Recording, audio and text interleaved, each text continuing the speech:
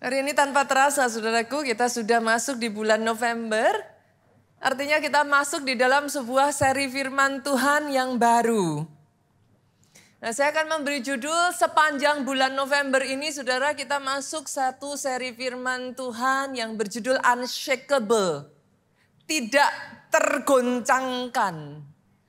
Unshakable. Saya berdoa ya saudaraku karena for me personally buat saya pribadi firman ini rema. Saya berdoa firman rema di penghujung akhir tahun ini mengingatkan saudara to have a solid foundation untuk punya fondasi yang kuat, saudaraku. Saya akan memulai dengan satu kesadaran ini ya, saudara. Di dalam kehidupan akan selalu ada yang namanya goncangan dari waktu ke waktu. Dan saya harus mengatakan kepada saudara bahwa Tuhan sudah tahu itu sejak dari awal. Saya kasih contoh logika paling dasarnya. Ketika saudara masih ada di dalam kandungan ibu saudara, saudara masih ada di dalam bentuk janin, Tuhan tahu bahwa yang namanya goncangan itu tidak akan terelakkan. There will always be a potential problem. There will always be a potential shaking, saudaraku. Itu sebabnya ketika saudara masih di dalam bentuk janin, di dalam kandungan ibu saudara, Tuhan menyediakan yang namanya amnion. Air ketuban, Pak. Janin itu, janin yang tidak berdaya itu tidak dibiarkan tanpa perlindungan. Ketika bahkan saudara tidak punya kuasa untuk menjaga diri saudara sendiri, dia perlengkapi engkau dengan air ketuban sehingga memastikan pada saat ada potensial goncangan itu engkau tetap aman. Bisakah saudara bayangkan? Buat saya, saya nggak tahu dengan saudara ya. Betapa dia mempedulikan saudara sejak dari awal mulanya. Dia tahu, yes dia certainly tahu goncangan itu tidak akan bisa dielakkan.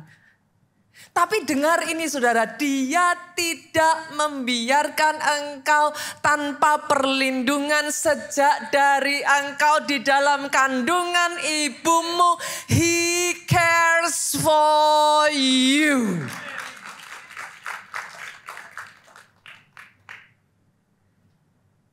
Buat saya satu kebenaran ini ya saudaraku, membuat saya takjub saya punya Tuhan yang peduli atas hidup saya. Pada saat engkau tidak bisa berbuat apa-apa, it is not in your power to do something. Dia memastikan engkau mempunyai segala sesuatu yang kau butuhkan sehingga engkau tidak hancur. Come on. Saya berdoa kebenaran ini ya saudaraku. Menghancurkan semua kekhawatiran. Saya berdoa kebenaran ini menghancurkan semua kegelisahan. Kebenaran ini menghancurkan semua kecemasan dan ketakutan yang ada dalam hidupmu. Understanding bahwa since the very beginning, dia tidak lepas Dia tahu saudaraku, bahkan buat Tuhan goncangan itu bukanlah suatu hal yang baru. Itu sebabnya di dalam Markus pasalnya yang ke-13 ayat 7 sampai 8, yuk kita buka. Tuhan Yesus sendiri itu ngomong. Dan apabila kamu mendengar deru perang atau kabar-kabar tentang perang, janganlah kamu gelisah. Terlepas dari semua dari kita always pray for the best, saudaraku. Kalau kita bisa memilih, kita mintanya yaitu dilalukan. Kalau bisa semuanya jadi lebih baik. Jangan hilangkan ayat ini dulu, multimedia. Tetapi ayat ini ngomong, semuanya itu harus terjadi. Bisa dimunculkan lagi ayatnya dari multimedia. Tetapi itu belum kesudahannya. Ayat 8, sebab bangsa akan bangkit melawan bangsa dan kerajaan melawan kerajaan. Akan terjadi gempa bumi di berbagai tempat dan akan ada kelaparan. Semuanya itu barulah permulaan penderitaan menjelang zaman baru. Basically ya saudaraku, goncangan akan selalu ada. Saya nggak tahu apakah saudara sudah melupakan ya. Baru 3, 4, 5 tahun yang lalu, 4 tahun, not even 5 tahun saudara. Baru sekitar 4 tahun yang lalu kita mengalami pandemi. Berapa banyak orang Kristen yang digoncang. Belum pandemi, baru aja selesai sudah dilanjutkan krisis ekonomi. Sampai detik hari ini masih banyak yang terdampak. Enggak semakin mudah saudaraku. Kalau tadi saudara mengacu pada ayat yang kita baca di Markus tadi, bangsa bangkit melawan bangsa, apa yang sekarang ini terjadi di depan mata kita actually happens. goncangan akan selalu ada. Itu semua yang terjadi secara global ya. Saya tarik nih masing-masing dari saudara if kalau saya punya waktu untuk duduk berdua dengan saudara dan saya ngobrol dengan saudara, saya bisa yakin loh masing-masing dari kita punya masalah Saudara mungkin bisa bercerita kepada saya, pastor, pastor nggak tahu saya ngalami goncangan di dalam keuangan saya. Sebagian mungkin akan ngomong sama saya, pastor saya ngalami goncangan secara kesehatan saya. Some of you will say to me, pastor saya ngalami goncangan dalam hubungan pernikahan saya. Hubungan saya dengan anak saya, hubungan saya dengan orang tua saya. Kalau saya tarik lagi ya saudaraku, dik, dip, dalam diri saudara, saya nggak tahu di dalam semuanya ini berapa banyak yang secara jujur engkau kalau bisa ngomong, kau ngomong sama saya, Pastor, kuatkan saya, iman saya tergoncang. Goncangan akan selalu ada. Pastor, apa yang ingin pastor sampaikan? What's your point? Dalam tema rema unshakable ini ya, saya ingin saudara menyadari satu hal ini. Removing problem, removing goncangan, it's close to impossible.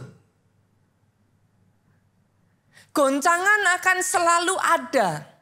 Tapi boleh nggak sih ditambah dengan satu kesadaran bahwa sejak dari awal engkau diciptakan, dia sudah mempersiapkan engkau untuk goncangan itu terjadi.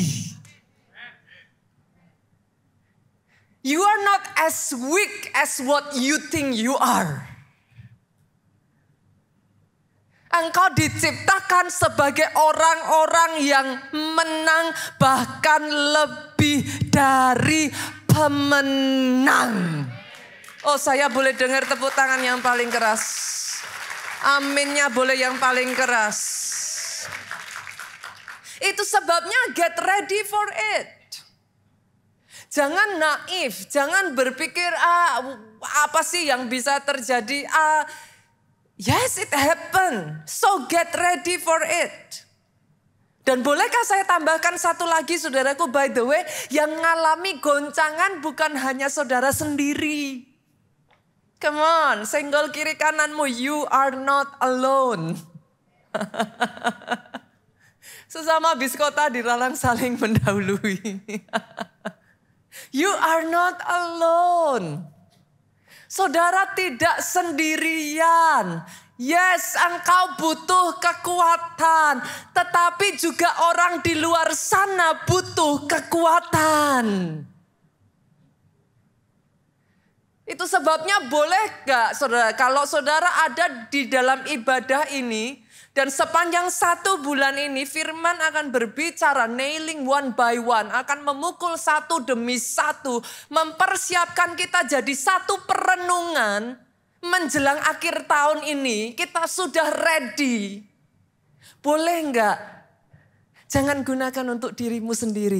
Bagikan kepada orang di luar sana yang juga membutuhkan kekuatan sama seperti saudara. Bila perlu kalau saudara mengenal orang-orang yang saat ini sedang digoncang imannya. Orang-orang yang saat ini mereka sedang merasa nggak kuat. Ajak yuk. Biar mereka juga mendengarkan kabar baik. Apa kabar baik dari goncangan, Pastor? Kayaknya nggak ada yang baik dari goncangan. Yes, ada. Ada, saudaraku. Kabar baiknya orang jadi ingat masih ada Tuhan.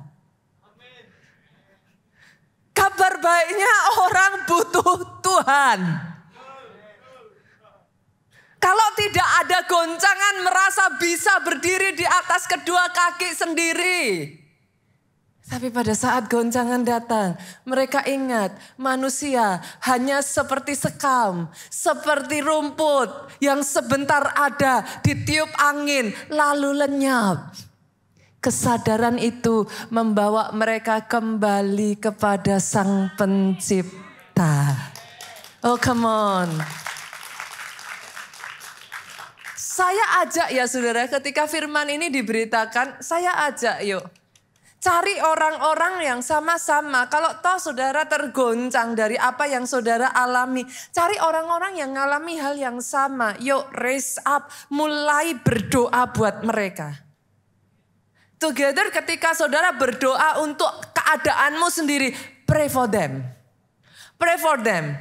Ajak mereka untuk ikut. Setidaknya kirim link khotbah ini kepada mereka. Sehingga kalau saudara dikuatkan dan saudara bisa bertahan sampai dengan detik hari ini. Sampai kemenangan itu datang. Mereka pun juga dimampukan untuk tidak menyerah dan terus berjuang. Boleh saya dengar amin yang paling keras? Boleh saya dengar saya mau pastor. Saya mau pastor. Pastikan saudaraku. Karena Ayat yang berikutnya saya ajak saudara buka Ibrani 12 ayat 26 sampai 28. Ayat ini menarik sekali saudara. Saya punya waktu mengulik ayat ini dalam beberapa terjemahan and I'm blessed. Boleh saya bagikan kepada saudara? Hopefully dengan saya mencoba membedah itu nanti dengan beberapa terjemahan itu tidak membuat saudara menjadi bingung. Kita lihat Ibrani 12 ayatnya yang ke-26 sampai ayatnya yang ke-28. Waktu itu suaranya menggoncangkan bumi, tetapi sekarang ia memberikan janji. Ini ngeri loh saudara. Ia memberikan janji. Kalau janjinya saudara diberkati, janjinya saudara asik. Dia memberikan janji, Sekali Tuhan ngomong, pasti digenapi. Janjinya apa? Satu kali lagi, aku akan menggoncang bukan hanya bumi saja, melainkan langit juga. Saya nggak tahu ya saudaraku, in case saudara adalah jenis orang Kristen yang berpikir gitu kan, mengikut Tuhan nanti akan jadi lebih baik, enak, hidup itu akan semakin ini ya saudaraku.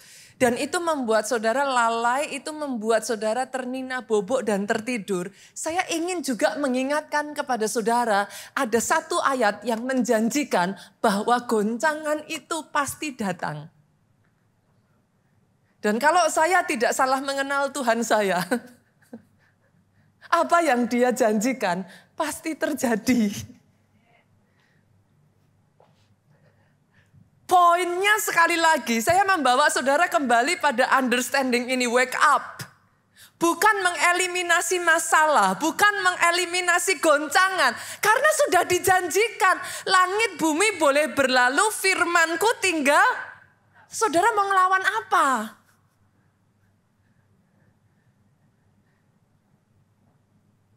Ini buat saudara ya, ini tiba-tiba kayak kaget ya saudara. Aduh pastor kayaknya saya signing jadi orang Kristen tidak berharap yang ini. Itu sebabnya banyak orang Kristen di tengah pandemi kemarin rontok. Karena berpikir kalau ikut Tuhan, Tuhan selalu tolong, tidak ada hal buruk yang bisa terjadi. Tapi ayat ini tidak berkata demikian. Ayat ini mengatakan satu kali lagi aku akan menggoncang bukan hanya bumi. Kalau bumi aja digoncang, yang satu ini langit juga akan digoncang. Ini tiba-tiba saudara lihat kiri kanan kayaknya salah nih datang ibadahnya nih. ini pendetanya salah khotbah.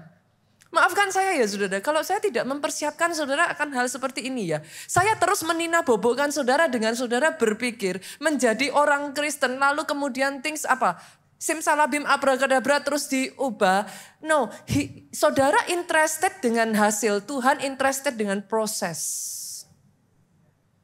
Maaf saudaraku.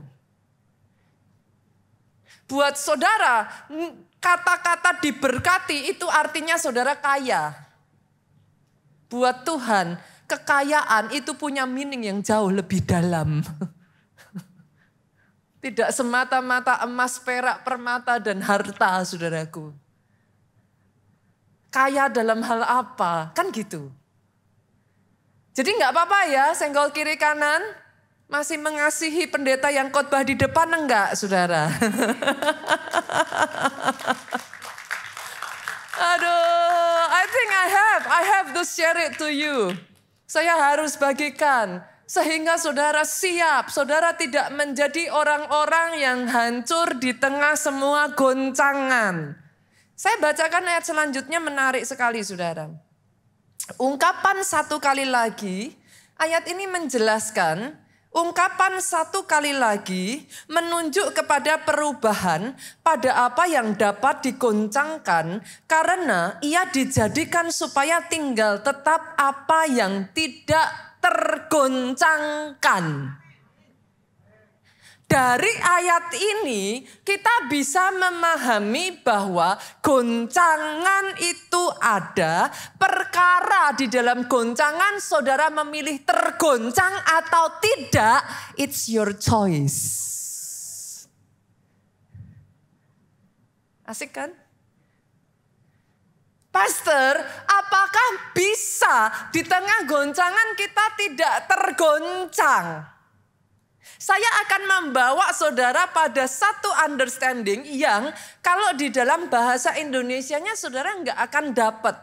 Itu sebabnya saya ajak saudara buka mau versi apa pun boleh. Saya kemarin buka versi The King James. Tapi saya akan bacakan dari versi The Message.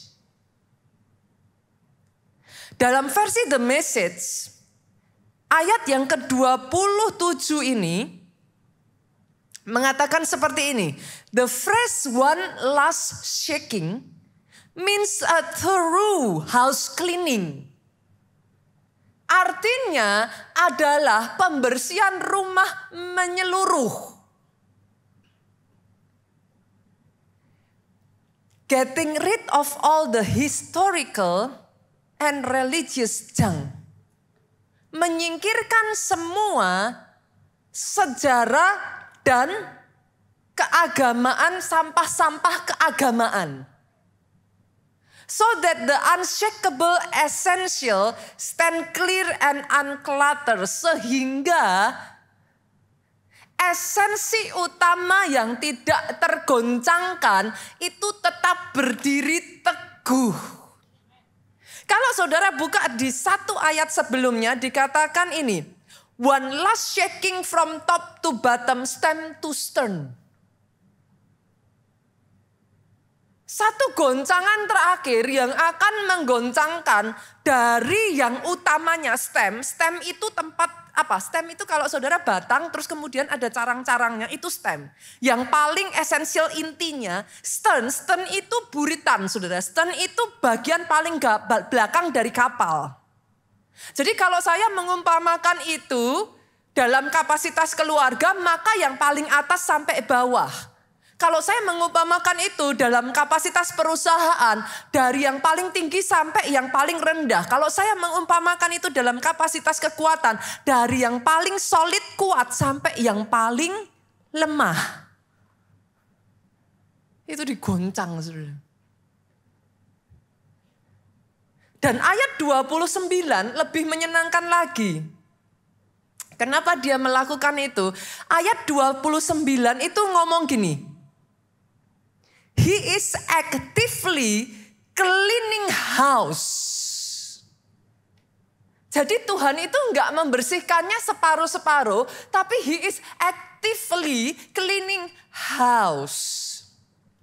Ternyata yang dibersihin dalam hal ini itu justru yang di dalam rumah. Halo. Adakah di sini yang ada di dalam rumah? Di dalam rumah berbicaranya ini adalah anak-anak Tuhan yang sudah mengenal Yesus, yang sudah mengerti kebenaran. He is actively cleaning the house, torching all that needs to burn. Dibakari satu-satu yang perlu dibakar. Pastor kok firmanya hari ini nggak enak atau pastor? Hmm, Loh, tapi ini kebenaran. Saya nggak baca ayat ini firman. Torching all that needs to burn and he won't quit until it's all cleansed. Dia nggak akan berhenti sampai semuanya bersih. Lah gimana? Ayat ini berlanjut. God himself is fire. Ayat ini mengingatkan saya saudaraku pada satu ayat yang lain yang mengatakan di dalam 1 Korintus 13 1 Korintus 13 ayatnya yang ke-12 sampai ayatnya yang ke-15 ngomong gini. Sorry, sorry. 1 Korintus 3, saudaraku. 1 Korintus 3 ayatnya yang ke-12 sampai ke-15 ngomong gini. Entahkah orang membangun di atas dasar ini dengan emas, perak, batu permata, kayu, rumput kering, atau jerami. Jadi ini berbicaranya adalah tentang fondasi, balik-baliknya lagi. Sekali kelak pekerjaan masing-masing orang akan nampak. Karena hari Tuhan akan menyatakannya. Ada kemiripan ya saudaraku ya. Ada kemiripan dari yang kita baca tadi ya. Hari Tuhan akan menyatakannya. Sebab ia akan nampak dengan api. Ayat yang baru kita baca tadi ngomong apa? God is fire. Bagaimana pekerjaan masing-masing orang akan diuji oleh api itu. God is fire. Pekerjaan masing-masing orang akan diuji oleh api itu akan diuji oleh Tuhan sendiri. Jika pekerjaan yang dibangun seorang tahan uji, ia akan mendapat upah. Jika pekerjaannya terbakar, ia akan menderita kerugian. Tetapi ia sendiri akan diselamatkan, tetapi seperti dari dalam api. Jadi saudaraku, apa pun dengan apa pun saudara itu membangun fondasi saudara, itu up to you. Just knowing bahwa mau saudara bangun itu dari emas harganya mahal, saudara harus nabung bayar harga supaya bisa memperoleh itu semuanya. Nggak segampang orang-orang lain yang mungkin membangun di atas jerami, di atas bata, di atas kayu yang jauh lebih murah saudaraku. Tapi semuanya itu akan diuji dengan api. Masalahnya bukan siapa lebih tinggi, lebih cepat. Kalau saudara hanya memberikan satu faktor penentu seseorang itu diberkati adalah dia menjadi kaya, titik. Titik.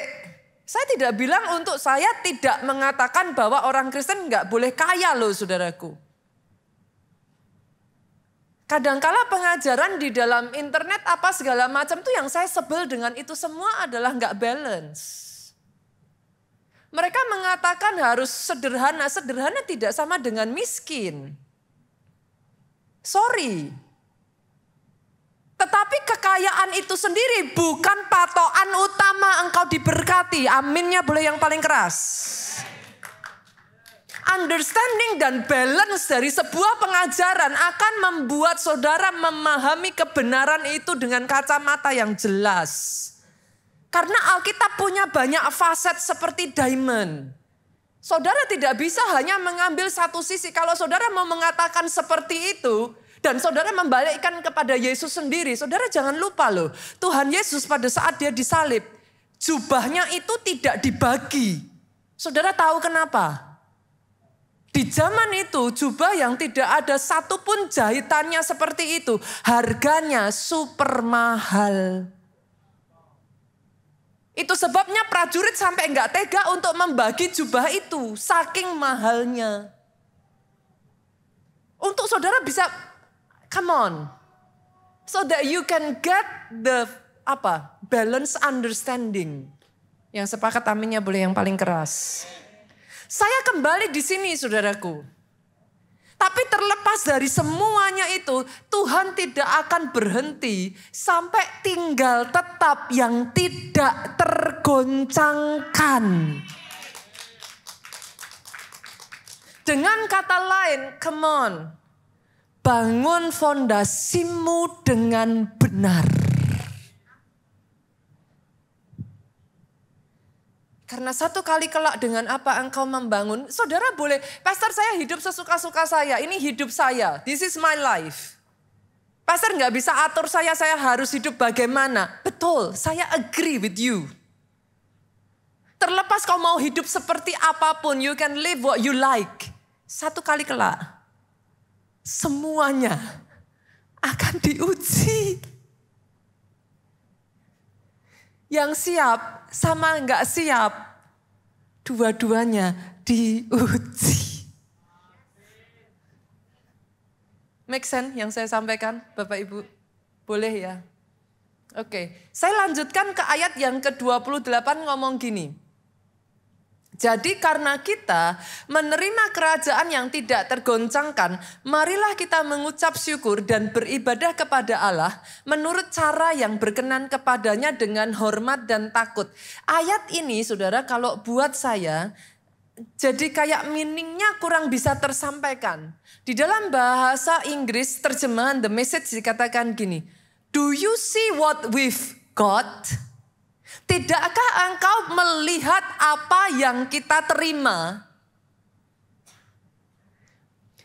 An unshakable kingdom. Saudara menerima kerajaan yang tidak tergoncangkan, itu yang diberikan kepada saudara. An unshakable kingdom. And do you see how thankful we must be? Tidakkah kau melihat seharusnya kita bersyukur Thankful, bukan hanya bersyukur, but brimming with worship. Brimming itu apa? Melimpah, apa? Penuh sampai meluap.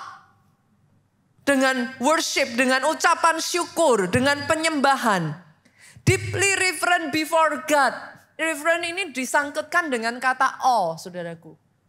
Takjub begitu rupa dengan Tuhan. For God is not an indifferent bystander.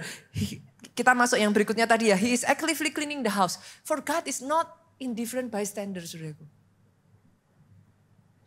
Dia tidak bisa ditipu, saudara. Dia itu, dia clear. Jadi terlepas dari dia menggoncang semuanya, langit maupun bumi digoncang. Ayat 28 memberikan kepada kita satu pengharapan, dia memberikan satu kerajaan yang tidak tergoncangkan. Tidakkah seharusnya Alkitab berkata, engkau bersyukur karena terlepas dari semua yang tergoncangkan itu, engkau punya pegangan. Itu maksudnya saudara, dari ayat ini. Engkau punya satu kerajaan yang tidak tergoncangkan. Saya tarik balik lagi saudara ke 1 Korintus 3 tadi ayatnya yang ke-11. Maka saudara akan melihat kesamaan di situ. Karena tidak ada seorang pun yang dapat meletakkan dasar lain daripada dasar yang telah diletakkan, yaitu Yesus Kristus.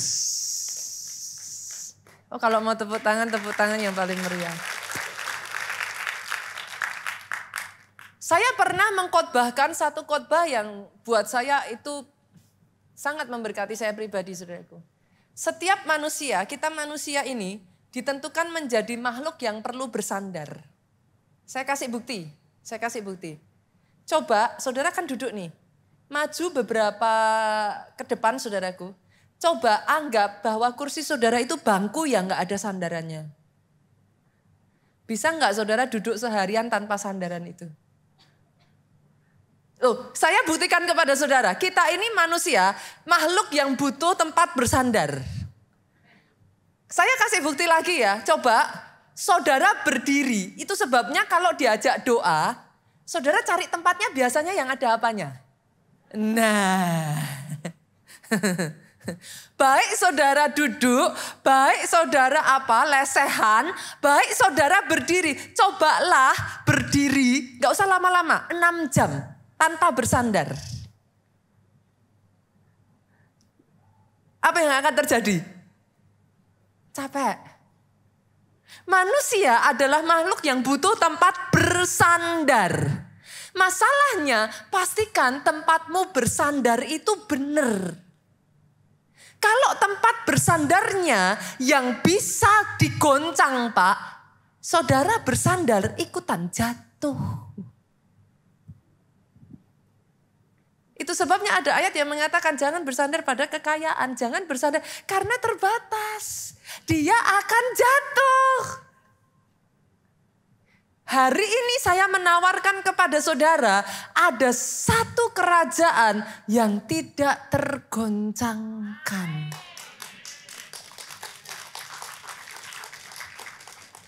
Ada satu fondasi yang ketika dia digoncang, dia tidak ikut goncang. Namanya Yesus Kristus Tuhan. Oh, hari ini saya berdoa ya saudaraku. Lewat firman ini ya, your Christianity diubahkan. Pola kekristenan saudara berubah. Gereja ini mengajarkan tentang mujizat. Gereja ini mengajarkan tentang berkat. Saya berdoa saudara tidak menjadi orang Kristen yang anti berkat anti mujizat. Kalau saudara bisa menerima bayar harga dan menderita bagi Yesus, apa susahnya menerima diberkati di dalam Tuhan? Tapi hari ini saya ingin menambahkan kepada saudara berkat mujizat semuanya itu tidak pernah boleh menjadi yang utama di luar Yesusnya sendiri. Aminnya boleh yang paling keras. Saya rasa kebenaran ini harus dimengerti ya. Hmm. Oke, nggak usah berdebat yang lain-lain, saudaraku. Yang sepakat katakan amin. Yesus harus jadi yang utama. Yesus harus jadi nomor satu. Sekali Yesus, selamanya Yesus. Aminnya sekali lagi boleh yang paling keras. seperti itu, apa yang harus saya lakukan? Simple. Kalau saudara tahu bahwa semua di luar, baik di langit, di bumi akan digoncang. Tapi ada satu tempat yang tidak tergoncangkan. Saya tanya saudara, kalau semua tempat nggak aman, ada satu tempat yang aman. Saudara pergi ke mana? Ya, bagus saudara. Logika simple. Kalau saudara sudah tahu, what should I do pastor? Kalau kau tahu yang lain akan digoncang, saudara boleh pakai kekuatan saudara. Ada sebagian orang bukannya tidak bisa bertahan. Bisa bertahan. Bisa nggak bertahan di luar Tuhan? Bisa. Berapa lama? Berapa lama? Itu pertanyaannya. Berapa lama? Jangan cari yang tergoncangkan. Senggol kiri kanan lagi yuk cari yang pasti-pasti aja. Ah. Ngapain cari yang nggak pasti? Bisa nggak pastor kaya di luar Yesus? Bisa, banyak tuh dukun saudaraku. Mau saudara cari. Banyak, banyak jalur. Yes, itu yang manusia berusaha katakan toh. Tapi berapa lama? Nah, semuanya pada akhirnya saudaraku waktu goncangan itu datang akan ikut digoncang. Dan firman mengatakan, kecuali saudara bilang sama saya ya, Pastor sorry saya nggak percaya Alkitab. Ya saya nggak bisa apa-apa saudaraku. Tapi selama saudara sama seperti saya percaya bahwa firman dan Alkitab itu bukan hanya sekedar pilihan. Itu kebenaran hakiki yang kita percayai. Firman mengatakan demikian. Bisa bisa ditangkap Bapak Ibu? Berarti what should I do? Apa yang harus saya lakukan? Sekali lagi tadi saya sudah tegaskan ya saudaraku. Saudara tidak sedang ada di dalam pertandingan cepet-cepetan kaya. Saudara tidak ada di dalam pertandingan certain kind of karakteristik itu yang dianggap dunia berhasil, maka saudara mengejar itu. Kalau hanya kepengen kaya banyak jalannya Pak. Orang Kristen yang mengerti katakan amin. Banyak loh saudaraku justru ketika saudara melakukan menerapkan hal-hal yang di luar Tuhan cepat kaya. Sorry. Jadi kalau pertandingan saudara di situ I am not in it. Saya tidak ada di dalam pertandingan itu. Saya mau seperti Abraham. Bapak kita tuh. Saudara baca kehidupan Abraham dan Yunu. Tapi sampai di titik terakhirnya, dia bukan hanya diberkati di bumi. Di surga pun dia ada bersama dengan Bapak. Sepakat ya? Jadi bukan hanya di sini doang loh. Bukan hanya di sini doang loh. Karena ada bersamaan dengan kisah Abraham itu ada tiga tokoh. Satu Abraham, Abraham certainly di zamannya saudaraku, one of the richest man on earth at that time. Ada tokoh yang kedua, siapa namanya ya? Lazarus itu siapa ya? Eh bukan yang pengemis itu siapa namanya? Betul ya? Kan? Kayaknya namanya itu kok saudaraku, saya lupa tiba-tiba saudara. Nanti jangan dipotong ya, pendeta kok lupa. Pendeta juga manusia saudaraku. Saya bisa salah ngomong di atas mimbar, saya, bisa salah sebut nama. Maafkan saya kalau itu. Ada tiga tokoh di sana. Ada si orang kaya, tapi nggak masuk surga.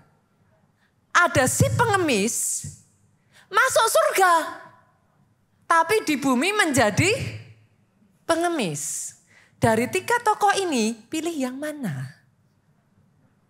Abraham, si pengemis, atau si orang kaya? Semua pasti bilangnya Abraham. Siapa yang nggak mau? Tapi saudara harus bisa memahami. Untuk saudara bisa mengerti itu bukan hanya sekedar Abraham, bukan hanya sekedar kaya di bumi, tetapi di surga. Itu doa saya saudaraku. Hanya kalau itu yang saudara inginkan, Artinya, pastor, apa yang pastor maksud dengan kita joining, kita be part of the kingdom. Boleh enggak your life, your business, your family sesuai dengan the way of the kingdom? How you conduct your life. Bagaimana engkau hidup. Nilai-nilai yang engkau pakai kalau firman Tuhan bilang enggak, apakah saudara tetap enggak? Atau saudara ngomong, kompromi dikit-dikit lah pastor. Zaman sekarang, kalau terlalu jujur hancur. Yang mana? Tadi saudara bilang kan, yang tadi yang bilang sama saya siapa? Yang mau cari yang tempat yang tidak tergoncangkan. Loh bukan saya loh tadi. Tadi siapa yang angkat tangan? Nah. Do you live according to the kingdom's way? Saya berdoa hari ini ya, ada orang-orang di tempat ini ya saudara. Ini ini yang saya doakan. Di penghujung tahun ini ya, hidup kita semakin dimurnikan.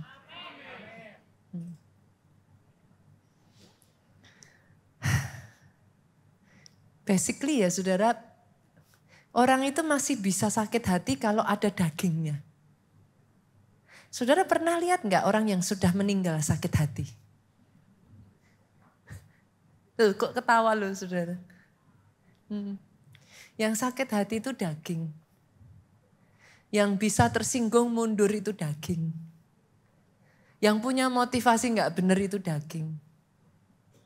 Pikul salib saudara adalah menyalibkan daging. pada saat hidupmu semakin dimurnikan, more of him and less of us.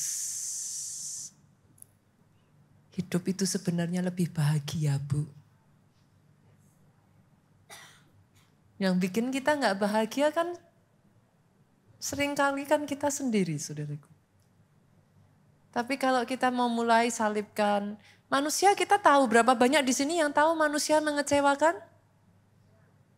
Sudah tahu kan? Masih kecewa nggak? Masih. Kok nggak kapok? Saudara nggak sendirian, saya pun sama. Sudah tahu. Tapi bisa masih kecewa tuh saudaraku. Tapi satu demi satu ketika saudara menyadari yuk kita luruskan yuk satu demi satu semua fondasi-fondasi yang selama ini masih apa gak kuat gitu saudara, rapuh. Semua fondasi yang saudara tahu, nih fondasiku di dalam keluarga rapuh nih, beresin saudara di akhir tahun ini. Ayo sapu-sapu saudara, kayak tadi tuh. Tuhan sedang menyapu tuh, membersihkan. Through house cleaning, dia sedang mengadakan pembersihan menyeluruh. Coba yuk di akhir tahun ini, mana bagian saudara yang masih lemah? Mana titik di mana kalau itu disentuh, saudara hancur? Coba. Yuk dibangun lagi. Jangan-jangan mungkin saudara kuat. Untuk Tuhan saudara habis-habisan. Untuk Tuhan saudara mati-matian. Wah langit dan bumi boleh berlalu. Yang lain meninggalkan saya tetap Yesus. Bagus. Loh bagus. It should be. Tapi mungkin di bagian yang lain Pak. Jangan-jangan bagian keluarganya yang lemah. Kalau untuk Yesus aku seperti itu. Untuk istri nanti dulu. Bisa? Yuk coba yuk, kita screening satu-satu yuk. Yang mana Pak? Sehingga di dalam semuanya ini nanti tinggal yang tidak tergoncangkan. Boleh enggak saudara? Saya mengambil saudara, mengajak saudara membaca sebuah kisah tentang seorang kepala penjara yang terlepas dari semua effort yang dia buat, satu kali goncangan itu tidak terelakkan terjadi. Saya bawa ya di cerita itu. Dan mari kita lihat ada dua pelajaran yang bisa kita tarik dari kehidupan si kepala penjara ini. Kita buka ayatnya. Kita lihat di dalam Kisah Rasul, saudaraku, pasalnya yang ke-16, ayatnya yang ke-23 sampai ayatnya yang ke-27. Nanti kita jalan ya, saudaraku. Saya baca pelan-pelan boleh ya? Nanti dari firman ini kita bisa breakdown banyak sekali hal yang bisa kita pelajari. Kisah Rasul 16 ayat 23 sampai 27, saya baca ayat 23, saudara baca ayat 24, kita bergantian boleh ya saudaraku. Setelah mereka berkali-kali didera, mereka ini adalah Paulus dan Silas, mereka dilemparkan ke dalam penjara. Kepala penjara diperintahkan, dia dapat perintah apa saudara? Menjaga mereka dengan sungguh Sungguh, oke sampai di sini dulu boleh nggak? Kalau selama ini saudara kan melihat dari sisi sudut pandang Paulus sama Silas ya. Kali ini boleh nggak lihat dari sudut pandang si kepala penjara? Oke ya. Nah dia dapat perintah apa Bapak Ibu? Disuruh menjaga dengan sungguh-sungguh. Saya tanya dilakukan atau tidak? Kita baca ayat berikutnya yuk. Saudara baca dengan suara keras boleh? Dua, tiga. Sesuai dengan perintah itu apa yang dia lakukan? Kepala penjara memasukkan mereka ke ruang penjara paling tengah. Nah berarti sungguh-sungguh nggak itu saudara? Berarti untuk mau escape susah ya? Oke, bukan hanya itu dan apa? Membelenggu kaki mereka dalam pasungan yang biasa-biasa aja. Yang kuat. Berarti dia melakukan tugasnya dengan baik enggak? Melakukan ya, saudara. Oke. Tapi then something happen. Dia sudah melakukan yang dia bisa lakukan. Ayat 25 ngomong kira-kira tengah malam. Paulus dan Silas berdoa dan menyanyikan puji-pujian kepada Allah dan orang-orang hukuman lain mendengarkan mereka. Ayat 26 sama-sama. Akan tetapi terjadilah gempa bumi yang hebat. Sehingga sendi-sendi penjara itu goyah dan seketika itu juga terbukalah semua pintu dan terlepaslah belenggu mereka semua. Melihat dari sudut pandang siapa tadi Bapak Ibu? Kepala penjara. Dia sudah menjalankan tugas dengan baik. Dia lakukan sebisa yang semampu yang dia kerjakan. Tapi goncangan tetap ada. Ada nggak di sini yang ngalami seperti kepala penjara ini? Saudara sudah plan the best that you can. Saudara tata, saudara tipe orang yang mungkin seperti saya. Saya orangnya perfeksionis saudaraku. Saya tuh bukan orang yang ini apa uh, serampangan. Kalau melakukan sesuatu tuh tertata dengan rapi. Tapi saya mendapati di dalam kehidupan, tidak peduli saudara merencanakan, selalu ada aja yang merusak rencana saudara. Adakah di sini yang alami seperti itu? Ada? Kepala penjara ini mengalami hal yang sama. Bahkan karena dia nggak kuat terhadap goncangan itu, lihat saudaraku ayatnya yang kedua tujuh. Ketika kepala penjara itu terjaga dari tidurnya dan melihat pintu penjara terbuka, apa yang yang akan dia lakukan saudaraku? Ia menghunus pedangnya hendak membunuh diri karena ia menyangka bahwa orang hukuman itu telah melarikan diri. Saudara nggak perlu angkat tangan kalau ada di sini yang semua rencanamu gagal and you are about to give up. Hari ini firman ini berbicara untuk engkau unshakable berbicara tentang hanya orang yang bertahan sampai kesudahannya yang bisa masuk ke dalam kerajaan surga.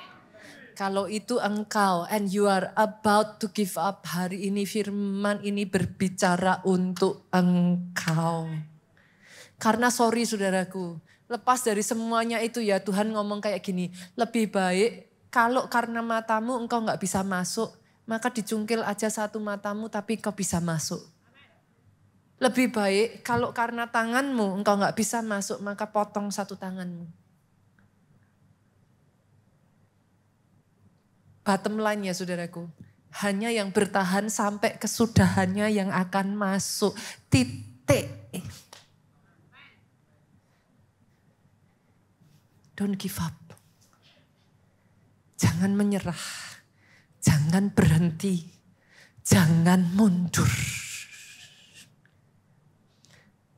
Itu message yang saya hidupi dari hari lepas hari. Ada waktunya pengen nyerah nggak pastor? Pasti. Ada waktunya capek enggak pastor? Pasti. Ada waktunya rasanya sudah jenuh, sudah sudah kayak every effort you can do you you already saudara sudah lakukan tapi kayak enggak ada buahnya. Ada momen-momen di mana saudara harus menelan pil pahit yang rasanya kayak pengen nangis, pengen teriak dan gak ada orang yang tahu yang saudara rasakan. Tapi jangan menyerah. Jalan lagi. Maju lagi. Karena hanya yang bertahan. Saudara nggak diminta untuk berkemenangan terus. Hanya yang bertahan sampai kesudahannya yang akan masuk. Ada waktunya saudara bisa kalah, ada waktunya saudara ini saudaraku. Ada waktunya saudara rasanya sudah ada di titik terendah. Ada waktunya di mana saudara on top of the world. Just don't give up. Jangan ketika kau di bawah engkau hancur dan engkau lupa akan Tuhan. Jangan ketika kau di atas engkau nyaman dan engkau meninggalkan Tuhan itu kata Daud. Terlepas dari kepala penjara ini akan menyerah dia hampir bunuh diri dia sudah menghunus pedangnya.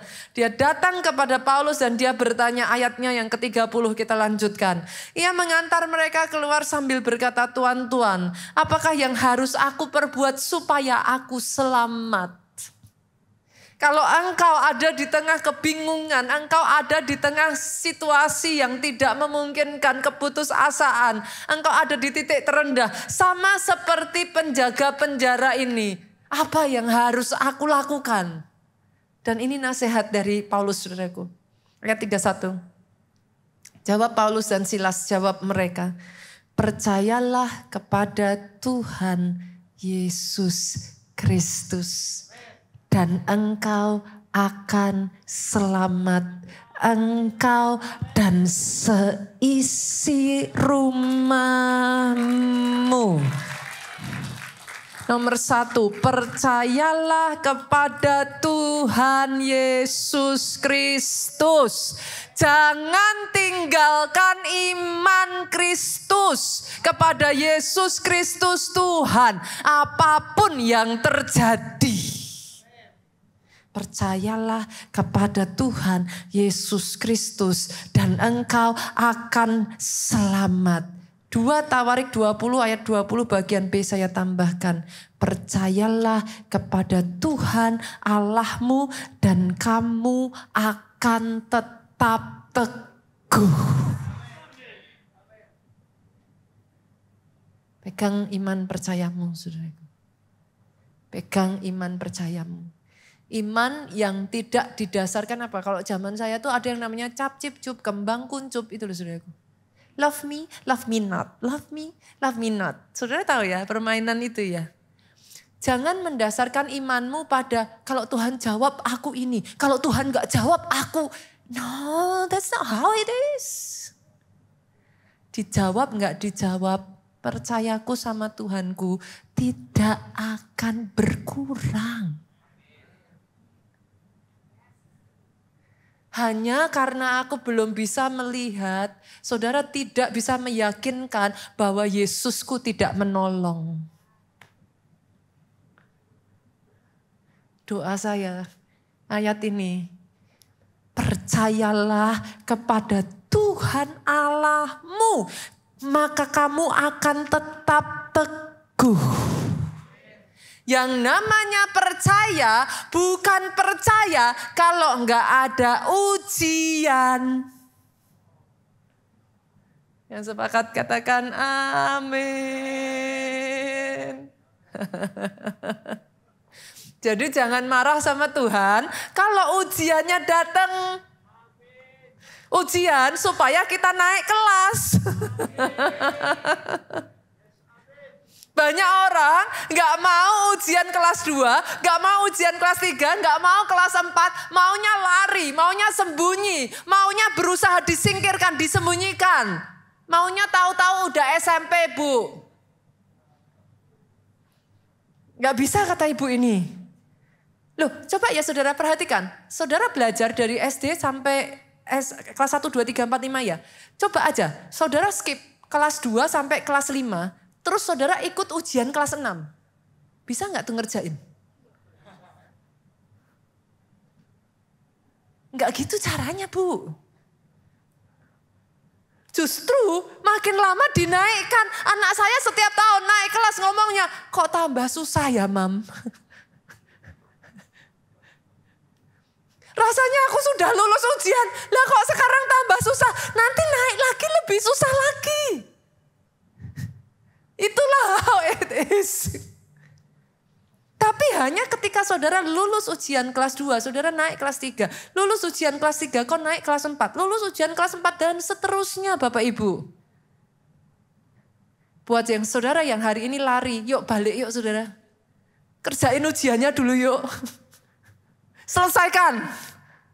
Selesaikan dan naik ke kelas yang berikutnya. Hadapi lagi ujian di kelas berikutnya. Amin ya boleh yang paling keras. Dan yang kedua saudaraku, bukan hanya percaya maka engkau akan selamat. Ayat ke-32 kita lanjutkan. Lalu mereka memberitakan firman Tuhan kepadanya dan kepada semua orang yang ada di rumahnya. Jadi kepala penjara dan seisi rumahnya. Pada jam itu juga kepala penjara itu membawa mereka dan membasuh bilur mereka karena Paulus dan Silas didera, saudaraku, diobatin oleh kepala penjara ini dan yang berikutnya. Seketika itu juga ia dan keluarganya memberi diri dibaptis. Apa artinya memberi diri dibaptis? Jangan terus hidup dalam hidup lamamu yuk. Yang lama harus ditenggelamkan engkau keluar sebagai manusia yang baru. And by the way, senggol kiri kanan juga buat saudara yang belum dibaptis. Baptis. Sekalipun ada arti dari baptisan saudaraku, tapi buat saudara yang menunda-nunda dibaptis, come on, ayo. Baptis. Baptis, jangan ditunda, baptis. Tapi ketika saudara dibaptis sesungguhnya engkau ditenggelamkan. Ditenggelamkan itu artinya apa saudara?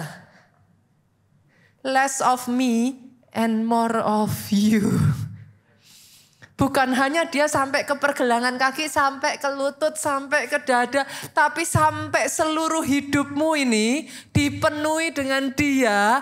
Dia yang mengendalikan hidupmu. Engkau berjalan seperti yang dia mau. Jalannya bukan jalanmu. Tapi kau mengikuti rancangannya dalam hidupmu. Pastor ternyata firmannya very basic ya. Boleh nggak saya bawa pada firman-firman yang basic begini, saudara? Supaya di dalam kehidupan kita ini kita tidak lupa fondasi. Saudara lupa, saudara terus membangun di atas. Kemarin kebetulan kami habis catering. Perintahnya adalah membangun bangunan yang paling tinggi. Disediakan peralatan, nanti deh yang ibadah berikutnya saya minta disiapin ya. Foto-fotonya ya. Nanti saya minta tolong ini nggak ada fotonya belum disiapin. Nah kelompok saya saudaraku kita semua membangun. Kita berusaha dengan apa yang ada itu membangun bangunan yang setinggi mungkin saudaraku. Tapi saya mendapat pelajaran yang tidak akan saya lupakan. Yang dikatakan adalah membangun bangunan yang setinggi mungkin dan tidak boleh roboh. Kita mengejar bangunannya tinggi, saudara. Dan benar, secara tingginya kita menang. Tapi setelah diuji oleh waktu, ding. Jadi bukan, it's not just a matter of saudara bisa membangun setinggi mungkin. Siapa yang paling sukses? No. Tapi yang mencapai garis finish sampai akhir dan mencapai dengan kuat. Boleh nggak Bapak Ibu, saya ajak untuk menggali lagi yuk fondasi-fondasi yang sempat terlupakan dari kekristenan kita. Yesus selalu nomor satu. Yesus. Tidak sama dengan pelayananmu loh saudara. Pisahkan. Melayani Tuhan tidak sama dengan engkau menjadi asyir saja. Melayani Tuhan ada bagian di mana engkau melayani dia secara pribadi. Hubungan saat teduhmu, intimmu dengan Tuhanmu. Jangan dilupakan saudaraku. Karena ketika satu demi satu fondasi itu runtuh, datanglah api dan semua yang engkau sudah bangun akan hancur dan hangus terbakar Pak.